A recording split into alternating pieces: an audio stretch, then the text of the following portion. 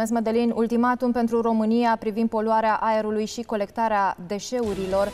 Comisia Europeană așteaptă ca țara noastră să ia măsuri urgente și necesare privind colectarea și depozitarea deșeurilor, dar și pentru îmbunătățirea calității aerului în capitală, mai ales.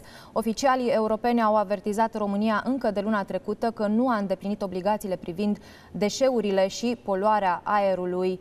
În octombrie anul trecut, de exemplu, Comisia Europeană a deschis României patru proceduri de infringement privind deșeurile, dar și calitatea aerului, calitatea apei. Potrivit statisticilor, în Europa mor în fiecare an 50.000 de oameni din cauza poluării.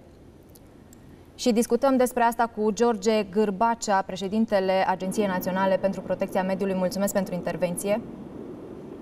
Bună ziua! Uh, ce măsuri trebuie să ia concret uh, România? Știu că s-a discutat, se discută la nivelul guvernului chiar de uh, impunerea unei taxe pentru mașinile mai vechi de 15 ani, asta din punctul de vedere al poluării.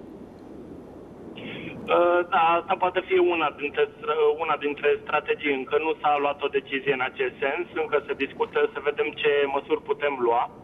Uh, ca de să când, limităm... Uh, de când am putea, nu știu, să avem această taxă? Se discută la nivel guvernamental de câteva luni, din 2022, pentru că vedem, Comisia Europeană uh, ne va sancționa dacă nu rezolvăm problema poluării și o parte din această poluare este și din cauza acestor mașini vechi.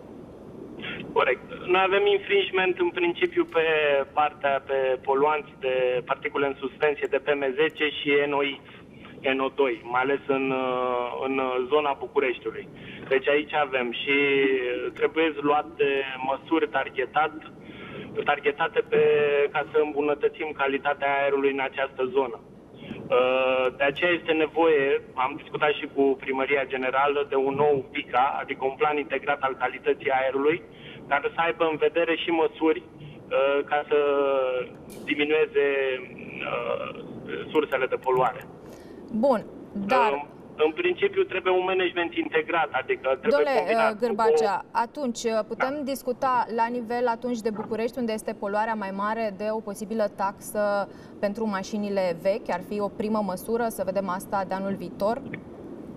Păi, o primă măsură s-a luat uh, prin creșterea tarifelor de parcare în zona centrală. Asta a fost prima măsură luată de Primăria Generală, în care știu. Și acum să vedem ce strategie o să aibă Primăria Generală. E posibil să asistăm la o limitare a traficului în anumite zone, nu știu. Încă nu puteți să întrebați Primăria Generală. Limitarea strategie. traficului, la ce vă referiți? Adică să avem acea rovinietă, mașinile mai vechi să plătească pentru a circula în anumite zone ale orașului o anumită sumă, o rovinietă, cum a mai fost acea idee? Da, sunt mai multe idei. Acum totul ține de primăria generală a capitalei. E strategia lor. Nu pot să mă pronunț în acest sens. Mulțumesc pentru Eu, intervenție. Noi, noi, Mergem da, mai departe în acest moment. Vom mai discuta la Antena 3. Mulțumesc mult pentru intervenție.